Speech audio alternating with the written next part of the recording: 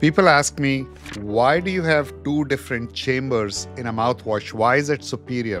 What is going on? So, I am going to give you the entire detail about how and why this was invented.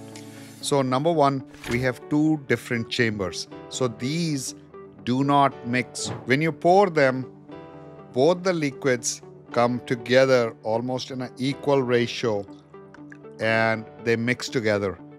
What is the difference?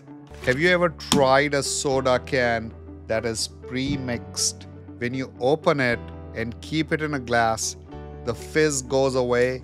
That is what is a mouthwash, the whitening mouthwash when you buy, which is pre mixed. Versus when you mix it, it's like drinking a soda that has got the fizz. So when these two things mix together, the two sides, one side of this has hydrogen peroxide. Hydrogen peroxide is acidic in nature. It goes and actually whitens your teeth. It's known for whitening your teeth.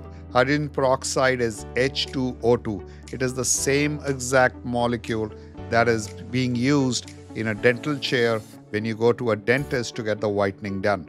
That hydrogen peroxide's diluted form is in there in this side. Now, this side we have put xylitol, 10% xylitol. So, xylitol is a type of sugar alcohol that bacteria love to feed on, especially the bad bacteria like Streptococcus mutans. They can't digest it, so they end up dying.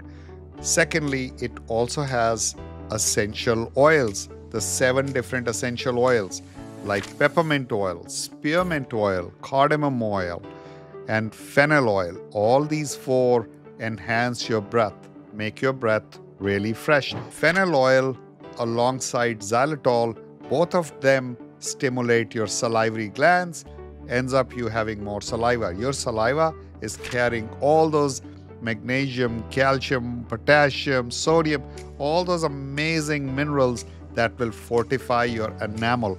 Your enamel builder is your own saliva, better than anything else in the world. We also have vitamin D3, good for bones, K2, which ensures that the calcium doesn't stick to the enamel, it actually goes where it belongs to the bones. We also have vitamin E inside, which ensures that the mucosa, the skin inside the mouth, remains healthy.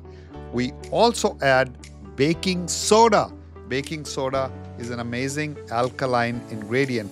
So when the hydrogen peroxide on this side meets baking soda on this side, acid meets base, they pH balance each other. So you get the pH balance so that the hydrogen peroxide cannot cause the sensitivity that it would cause if it was used all by itself. So that is the reason we have it in two different variations. Mix it it's like a science experiment. It, the bubbles get formed, they take off all the stains, and you are whitened teeth with almost no sensitivity.